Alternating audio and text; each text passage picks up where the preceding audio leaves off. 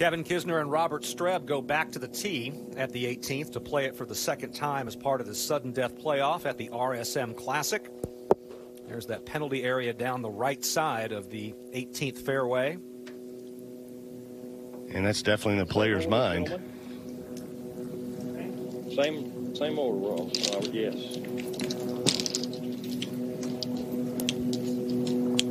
Streb's got to feel like he's got new life. Great save, but uh, dodged it there. He certainly did. And the tee shots today on the inward half for Robert Streb, where the miss is out to the right.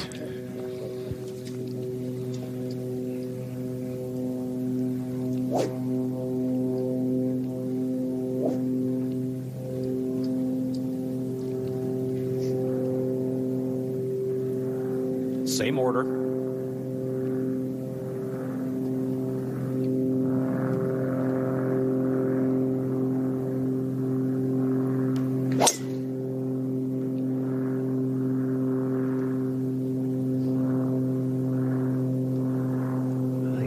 By the bunkers this time, which is a very good break. Even though it's in the rough now, he at least has an angle and he has a good shot. That's a pretty good lie over there, too. I mean, he has a shot.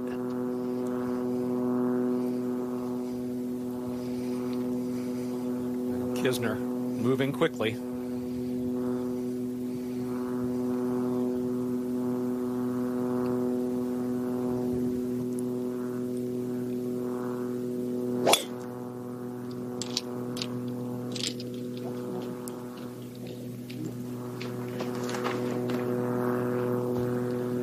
Runs off that right side a little bit, and that will also beat in the rough and doesn't look like a great lie, and his angle is much worse than Streb.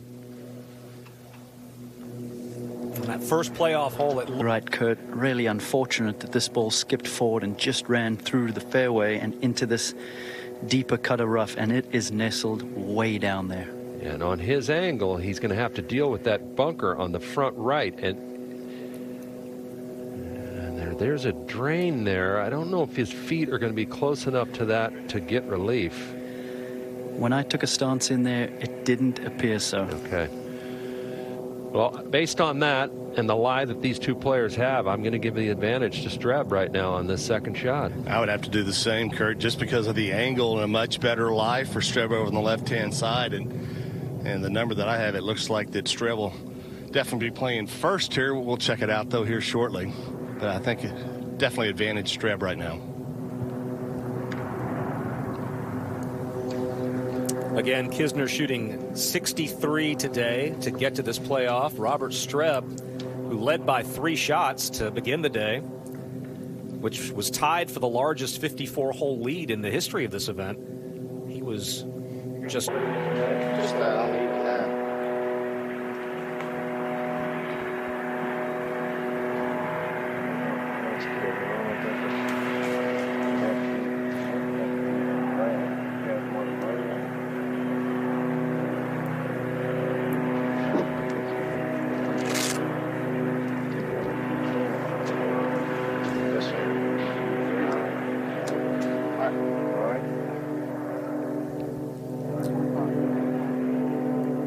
So Streb is going to play first. Kevin Kisner is conferring with Mark Russell to find out if he does indeed get relief, if his stance is going to be too close to that drain.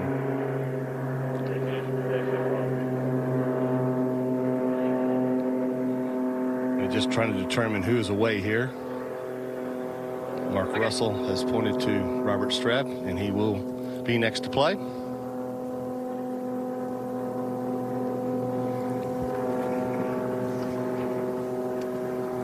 Even though this ball's sitting in the rough, Kurt, I, I think, you know, coming to the screen where that hole's positioned, he can land it actually on the putting surface from here, and it's back uphill. Yep, it's going to land into that grain, which will help kill it. 158 yards. This is a pitching wedge. Boy, he went at it. A good looking line here. Wow. Oh, Oh, what, a, shot! Oh,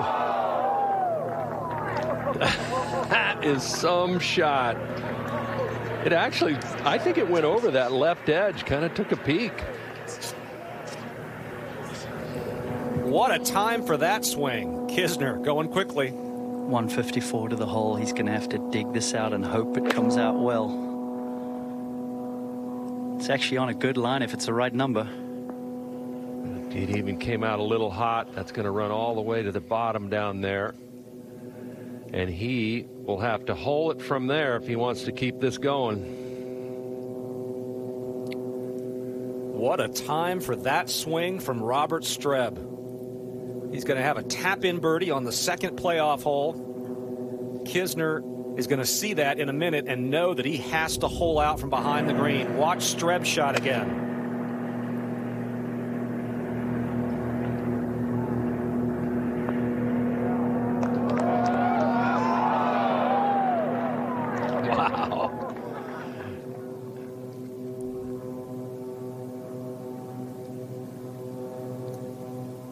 Man, Yeah. that, that kissed the edge. It sure did. He'll remember that shot for a long time. That was a centimeter from ending the playoff, potentially.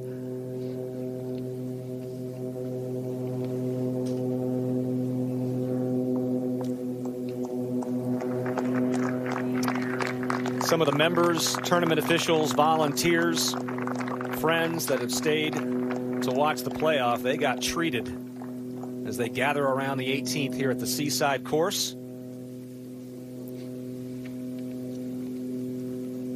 Kevin Kisner gets a good look at that, and boy, he knows what he has to do now. It's all or nothing.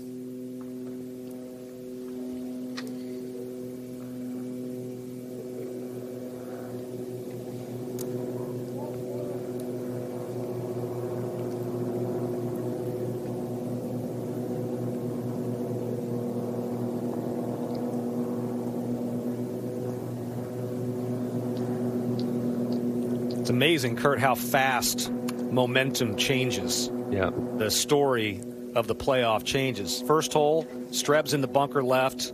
Kisner's creased it. We're thinking, in our heart of hearts, this thing's over. You know, and I think Kisner hit a good putt. He he just misread it a little bit, underread that first putt for to win it. Uh, so, but then Streb, when he gets up and makes that probably an eight footer for par, that gave him new life. Get, you know, he was encouraged again, knew he had a chance, and uh, boy, did he take advantage of it. Streb's birdie putt is a formality, and Kisner knows it. This has to go in.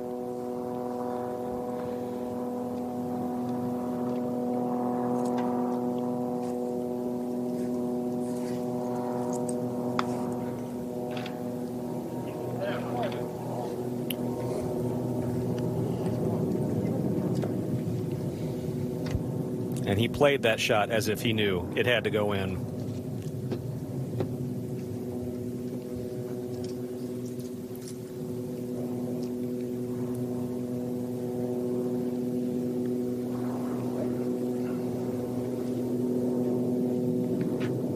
And Kurt, I hope this doesn't seem like a silly question, but You have to finish out. I know, but Yeah. but I do you. I don't know. I guess I guess you you have to make him putt it. I understand why. You Yeah, they have to- him putt first. Well, I was going to say, would Kisner have him Oh, putt first? Have him tap it in. I understand they have to finish, but Yeah. there's not a whole lot of meat left on that bone for No. Streb. No. So this is for a four, second half, second playoff hole.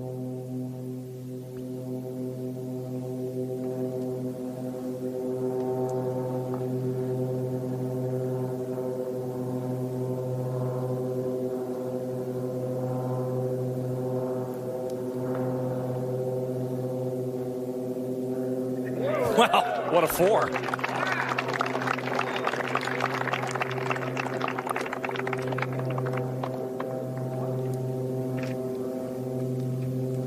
That leaves this for Streb for the win.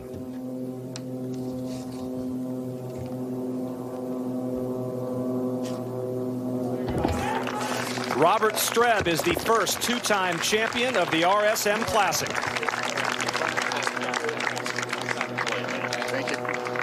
Beating Kevin Kisner in the second hole of the playoff. Great stuff, man. Thank you. Congrats, driver. Thank Great you. play. Thank you. Great play. And he adds to that list of players who have made the same event their first two wins on the PGA Tour. Most recently, Daniel Berger at the FedEx St. Jude. Now, Robert Streb, two times a champion at the RSM Classic in a playoff over Kevin Kisner, who won here in 2015.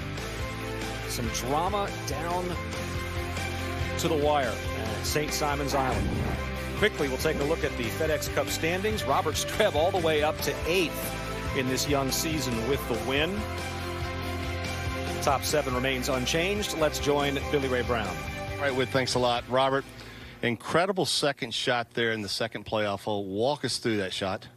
Uh, first off, I was happy I was not in that bunker again. Um, just, uh, it, it looked like it was going to jump a little bit. Tried to, you know, hit the pitching wedge, banking on it, and um, obviously came out perfect, landed soft. Um, it, you know, it was going to need a little fortune to get close, and um, I got it.